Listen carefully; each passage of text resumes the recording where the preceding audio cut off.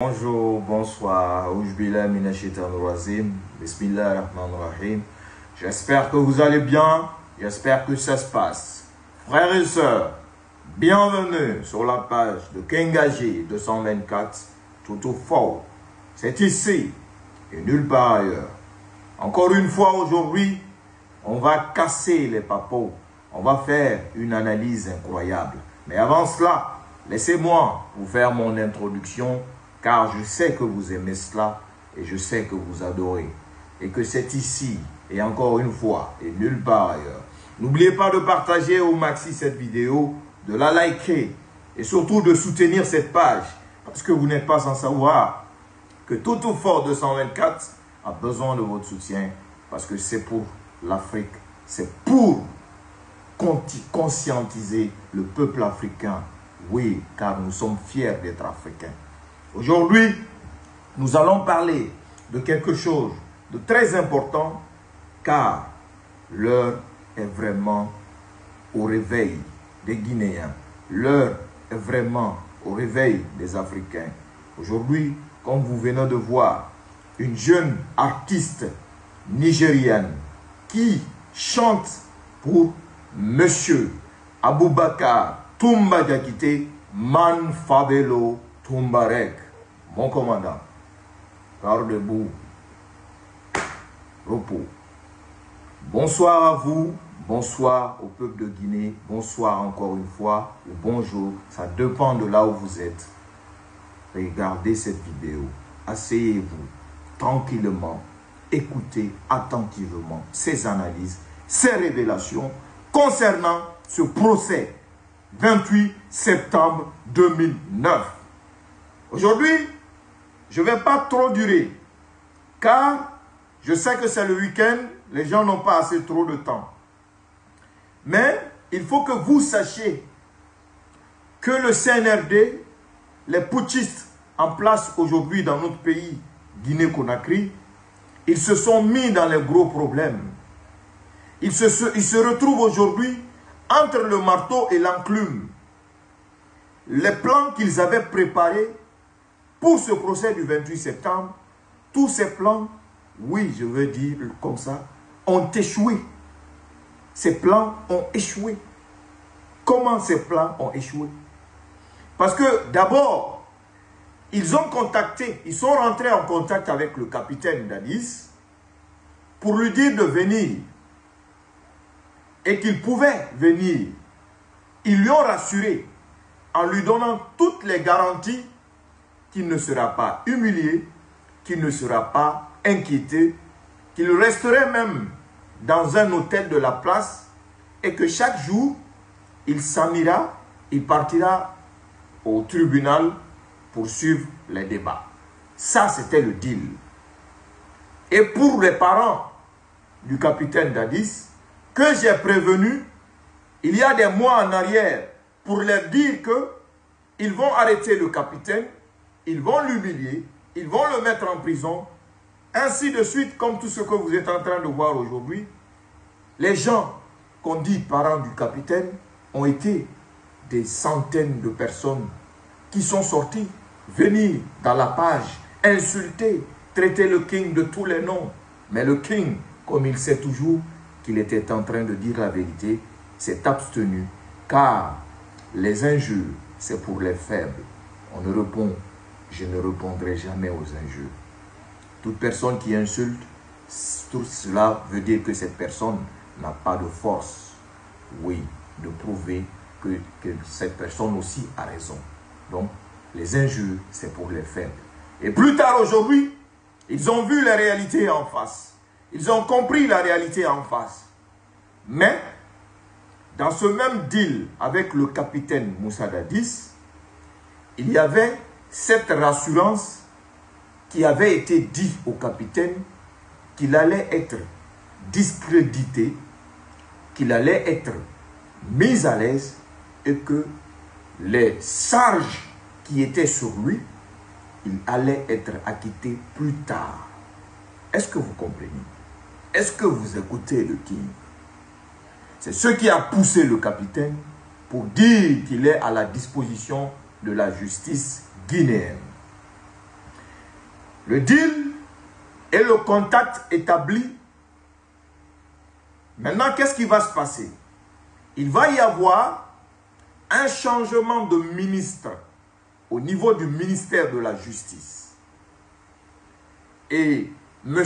Koné va être remplacé par Alphonse Charles White, le ministre actuel. Et là, comme l'ancien, euh, le, ministre actuel, qui est ministre de la Justice, était le procureur général de, la Cour d'appel de Conakry, et les préparatifs et les deals avec Dadis, lui n'était pas impliqué. Il n'était pas impliqué à fond. C'est-à-dire, il n'était pas au parfum de tout cela. Est-ce que vous comprenez? Mais en gros, le deal a été proposé à Dadis pour l'avoir. L'avoir, l'humilier, mais par fini, comme ils veulent ce côté de la forêt pour leur soutenir, pour leur soutien, pour que, voilà, ils puissent rester et que quand besoin sera nécessaire pour les élections, que la forêt va les soutenir. C'est pourquoi nous avons vu ces mois passés, oui, et jusqu'à présent, la majorité, une partie de la forêt soutient le CNRD. Tout ceci, c'était basé, c'est basé sur le cas de Dadis. Je vous explique encore, on continue. Maintenant, Charles White, lui, il va appliquer la loi. Il va appliquer les règles, les vraies règles. Dadis va venir et que Pivi et Thieboro et autres sont dans la nature, le ministre va instruire, avant le début du procès, que tous les accusés soient mis aux arrêts pour qu'ils puissent être jugés parce que c'est un tribunal criminel et que aucun accusé n'aura droit à être voilà, à l'aise ou un traitement de faveur. Donc, compte tenu de ça, le CNRD et son président vont laisser leur ministre faire son boulot. Mais je vais vous dire, aujourd'hui, Charles White, il est malade. Mais beaucoup ne savent pas pourquoi il est malade. Charles White, la maladie qu'il a aujourd'hui, c'est à cause de ce procès 28 septembre. C'est à cause que, parce que il, a refusé que Daddy soit mis en résidence surveillée. C'est à cause de tout ça. Est-ce que vous comprenez? Maintenant, quelle est, quelle est cette chose que le CNRD n'avait pas prévue? Quelle est cette chose que les organisateurs de ce procès n'avaient pas prévue? C'est le cas de Toumba. Ils n'avaient pas du tout prévu cela. Est-ce que vous comprenez? C'est comme quand vous partez braquer une banque, vous planifiez tous vos plans, mais là, vous, aurez, vous allez avoir une grande surprise. Vous tombez sur une grande surprise que vous ne vous attendez pas. Donc, tout le plan a été mis en place. Mais ils n'avaient pas imaginé l'aspect contagieux de succès d'Aboubakar Toumba Diakité Manfavelo Toumbarek.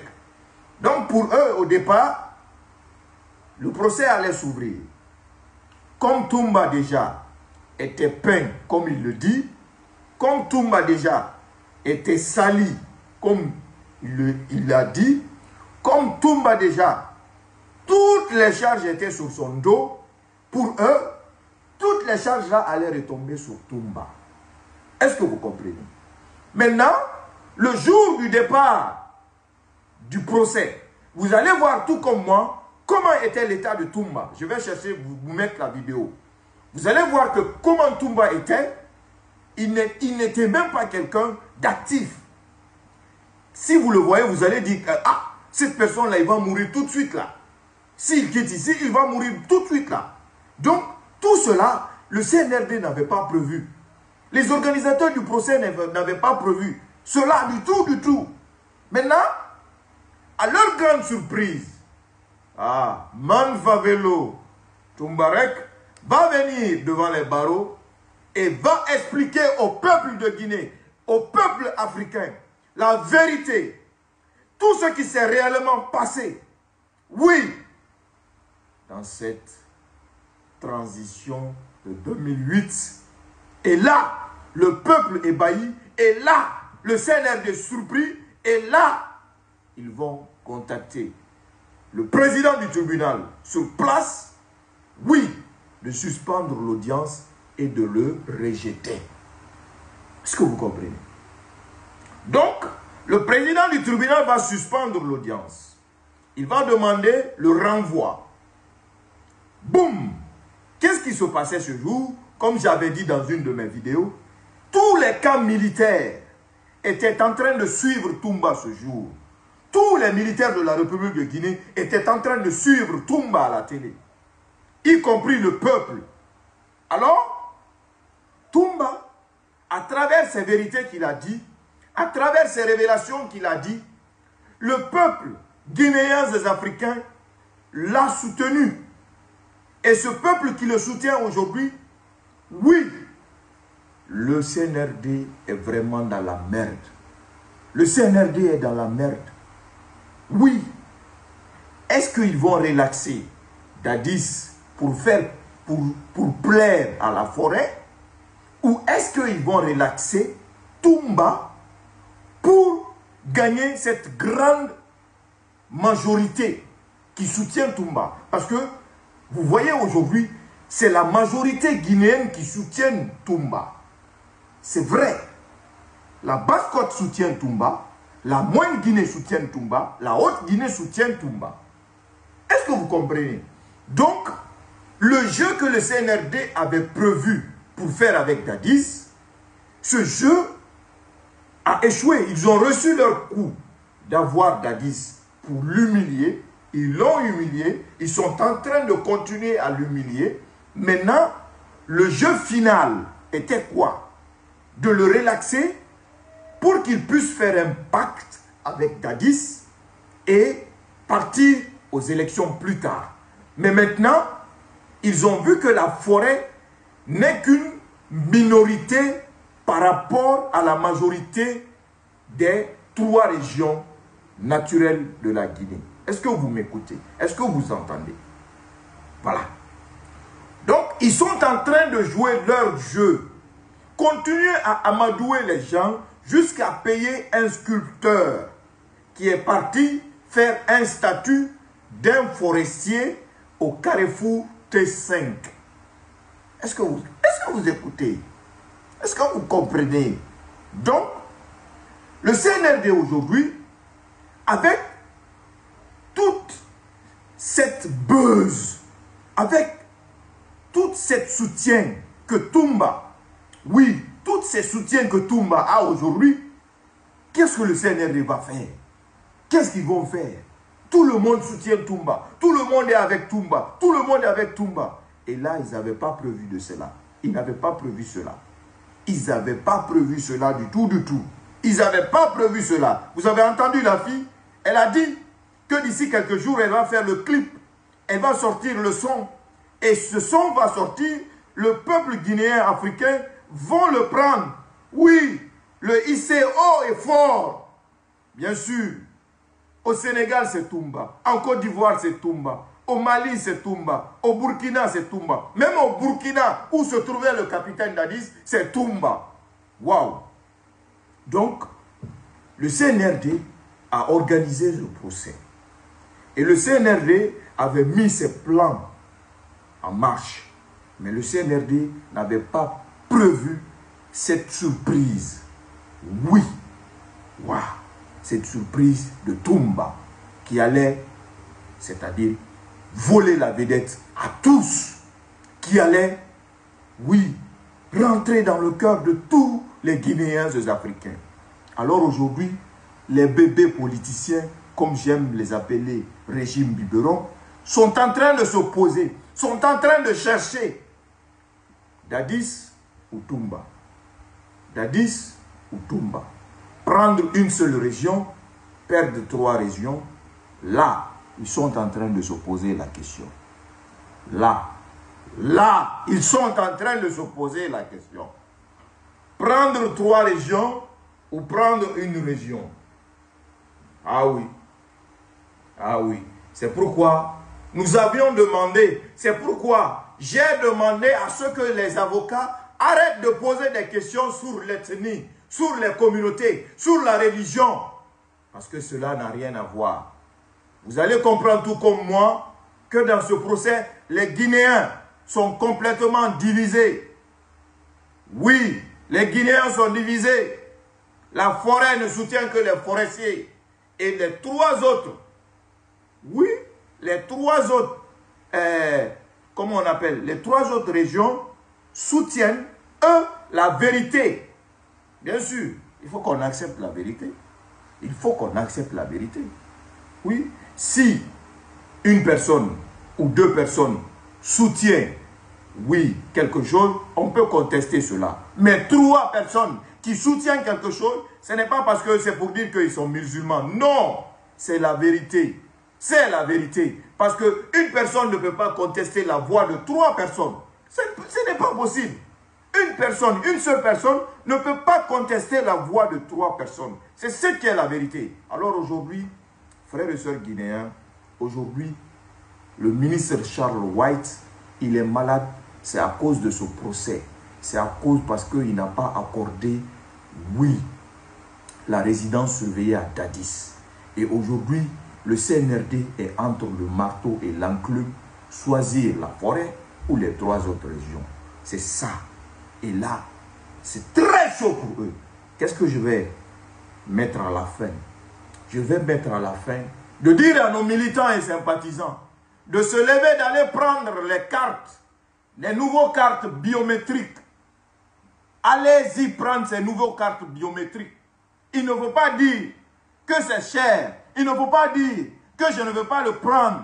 Si tu aimes ton président, tu aimes ton parti, tu veux que ton pays change, va prendre la nouvelle carte biométrique pour t'inscrire dans ton pays et aux prochaines élections. Parce que les bébés ne pourront pas tricher cette fois. Parce que pour prendre cette carte biométrique, il faut la présence physique. Et vous savez tout comme moi qu'en Guinée, ils ont pris des enfants, allez les recenser, allez les mettre devant les trucs, patati patata. Avec ça, ça ne peut pas marcher. Allez-y prendre vos cartes parce que les élections, c'est peut-être demain, c'est peut-être après-demain, parce que réellement, le CNRD est c'est chaud derrière eux. C'est chaud derrière eux. La communauté internationale, les Américains qui ont commencé à parler, et aussi ce procès. Oui, ils sont en train de perdre. Oui, ce petit soutien de la forêt, petit à petit, petit à petit. Parce que nous sommes tous, sans savoir, et nous sommes tous conscients que la forêt, en majorité, il y a des, animistes. Est-ce que vous comprenez? Donc, les soutiens là, les fétiches là, oui, ils peuvent faire ce qu'ils font pour eux là. S'ils ne les aident pas, ça se garde. Alors, le CNRD aujourd'hui est entre le marteau et l'enclume. Choisir Tumba ou choisir Dadis. Là, c'est vraiment chaud. Et c'est le peuple qui tranchera. Et le dernier mot appartient au peuple. Monsieur le président du tribunal, restez comme vous êtes jusqu'à la fin de ce procès. Vous allez rentrer dans l'histoire de la Guinée. Donnez la vérité à qui de droit? Wassalam.